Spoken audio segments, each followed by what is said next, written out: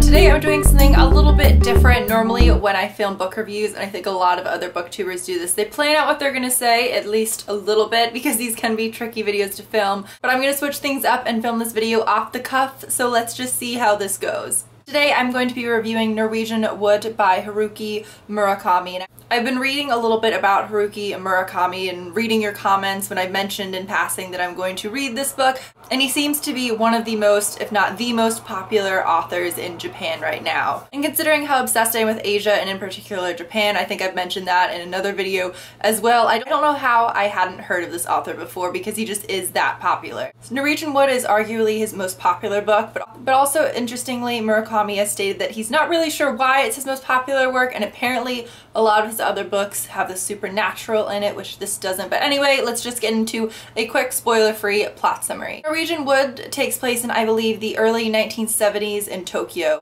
The protagonist's name is Toru and he's at his first year at university. And while he's attending university, he falls in love with a girl that I originally had pronounced her name as Naoko, but apparently it's Naoko. Now what makes this difficult is Naoko is the former girlfriend of their mutual best friend named Kazuki who back in high school died. I won't say how.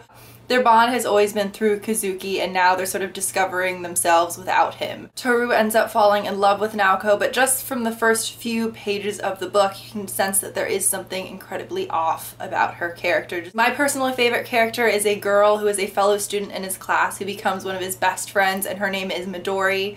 Let me know who your favorite character is if you've read this book, but Midori just had so many opinions on so many different things. She was so talkative and intelligent and in a lot of ways very confident but also quite insecure. Although she's my favorite character, I probably would have despised her in real life just because she is that talkative. But even though there's often points where there's so much text that's just her speaking and Toru maybe putting in a word here and there because he's not the most talkative character in the world, it didn't matter and it didn't ever feel boring because I always found what she was saying interesting. The book is very introspective. It's all from Toru's point of view. It also deals a lot with sexuality. There's also a bit of history in it because this is taking place, like I said, I think in the 1970s and there's sort of a student revolution happening that Toru is witnessing.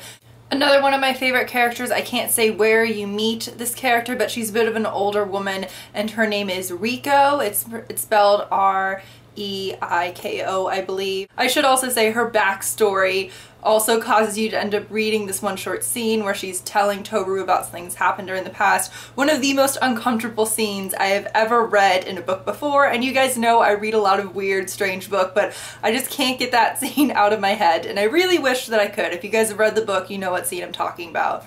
After reading this book, I can definitely understand why Norwegian Wood is a lot of people's favorite Murakami book, but especially considering he doesn't understand why this is people's favorite, that almost makes me even more interested and excited to read his other books. A lot of you guys have recommended which out of his other books because there are quite a few I should read next so I've got a little list going. Also really be interested in reading a book that is about sort of a transplant in Japan who's not from the area just to see their perspective on it. Sort of a, a, little bit like maybe Lost in Translation if you've seen the movie that style. Obviously it doesn't need to be an American female like in the movie and myself, just someone who's not from the area. So if you know any books like that or just about or that are just heavily influenced by Japanese culture in general, please let me know. I think Murakami is probably so popular because of the way he builds his characters and how real they feel and so interesting, and the writing is obviously wonderful as well.